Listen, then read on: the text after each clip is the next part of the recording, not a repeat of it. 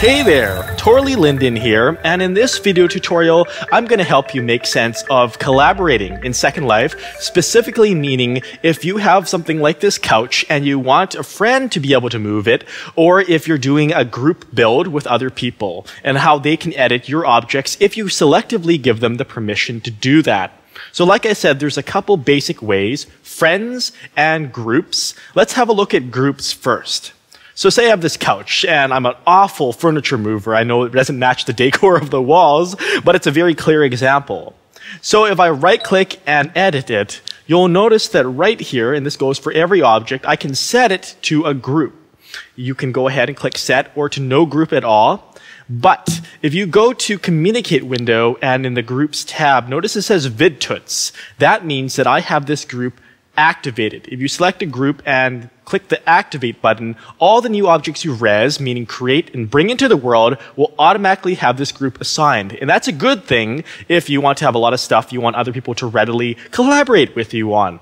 But not right now. I just want to do this one simple example. So let me close that out and it's already to the VidTuts group. And now I will just click share with group. This means that anyone else who is in that group, a member of the group, can now modify this object and move it around like I'll show you. So that's clicked, right? And then let's go over to, let's flip screens. And then here's Torley Tester. He's my friend. He's coming on in.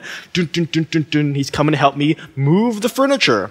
So you notice now that although this doesn't belong to Torley Tester in all his bipedal glory, he can still right click and he can edit it and he can go ahead and help me rearrange it. Like with click the arrows, the green arrow there, or click the red arrow or the blue arrow to move it up and down. And that's a great thing if you have a friend with a good watchful eye. Make sure that you set share with group only if you want to, if only if that's your intention. I know that sounds kind of obvious, but it's horrible if someone messes something up that was also in the group because you didn't intend to, to share it. And this means it's shared with everyone in the group. Just keep that in mind. So then I go back, I flip over back to Torley Linden's screen. You may wonder what deed does. Well, this means that an object becomes group owned. There are certain benefits to that, like certain vendor boxes that if you pay them, that everyone that is entitled to in the group per the role ability. See, I don't want to get too complex here, but let me just quickly show you this as well so you know, and I might explain this more in a future video tutorial, but deeding can get more complicated because you go to a group and then you get info on that group. And now let's look in members and roles. And you see that roles, different members can belong to different roles, meaning they have different permissions and abilities of what they can do. So in abilities, if you scroll down, there is this ability to, let's see, it should be down here, of being able to manipulate group owned objects. That applies when an object is deeded to group. So if you want certain people to be able to move stuff and not others, then what you would do is you would deed those objects to a group. Just click on it like that. And on top of that, you would give them the power to manipulate that. So that's just a quick example. Let me just close that out for now. And notice that share with group becomes unchecked because they're actually related, but they're distinct. They're not the same thing. Okay? Like I said, I might do more of an explanation, but simple way, short, if you create something, like if I go ahead and res a cube, just create and res a cube, notice it automatically gets set to vidtuts, and I want to share it, I want Torley Tester to be able to move it, click share with group, and of course now he can go ahead and he can go ahead and do that. And notice that what he can also do is change the name of it. He can modify it. It acts in most respects as if it was his own or her own or its own. Second Life is very flexible that way. There are some finer caveats with the permission system, but that's the general understanding. So now with that covered, let's look at the second thing, which is friends. That's another way you can collaborate. If you go up to communicate window, instead of the groups tab, let me just make this smaller here, go to the friends tab and you'll notice everyone who is your friend here, they will show up. And you will notice these give permission for friends to do different things. And if I specifically want a friend to be able to edit my objects, in most cases as if they were me, you click their name and you click this third checkbox, this column. But be very, very careful with this. If you don't trust someone, don't give it to them because they can delete your stuff, Remember, they can modify it. That means deleting, changing the color, screwing it up. But if it's a good friend, they can help you make something so much better. You'll get a warning. Notice that.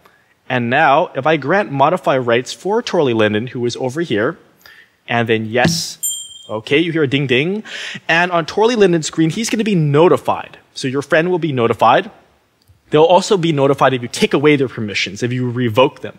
So now that I can close that as Torley Linden, that means that I can modify, as Torley Linden, I can modify Torley Tester stuff, but Torley Tester can't modify Torley Linden stuff automatically. It's a one-way thing, and how you grant it both ways is again, from your perspective now, since I'm Torley Linden, go back to communicate and go to, let's see here, friends again, and Torley Tester. And this time, from my perspective, I will give Torley Tester my permission. Hmm, that's kind of weird. Actually, it should show this is checked because Torley Tester gave me permission. But let's see if this refreshes. Click that, and yes, so it works, goes both ways now. Let me see what happened with that Torley Tester. Hmm. Well, that's a bit confusing, but in any case, you should be notified. This third, I mean, this fourth column here shows when other people gave you permission. And this one is selective. It means you can choose to make friends editors of your objects, as it were.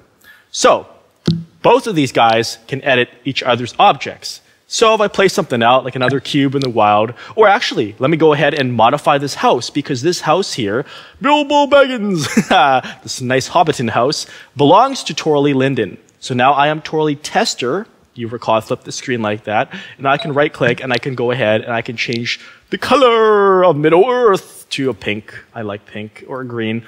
And I know that's not to your taste, but just showing you an example, and of course I can move it and change it other ways. I can also drag stuff into the contents if I wish. Key thing, if you're not able to edit something, always check in the general tab, always check the next owner permissions. Because if it doesn't say you can modify if that's not checked, then no, you, you can't touch that.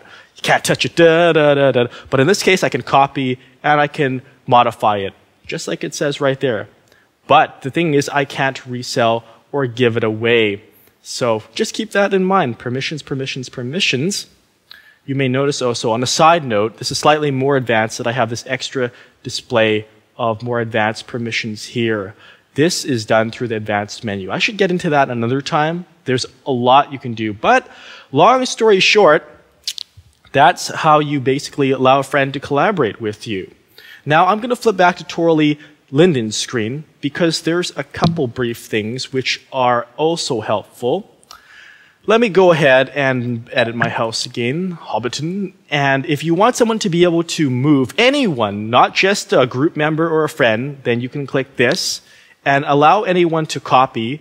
This will only work if all the, all the permissions are fully permissive, meaning you can copy, you can modify, and you can transfer it. So that's grayed out because I can't do that because I can't transfer this away.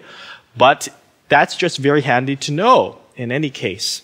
So go ahead and have a look at those different sorts of things when you're building with friends. Remember at any time if you feel uncomfortable, you can go to communicate and you can revoke permissions like that. And it'll just tell you that. And no harm done, no offense meant, but you can just take away permissions just like that.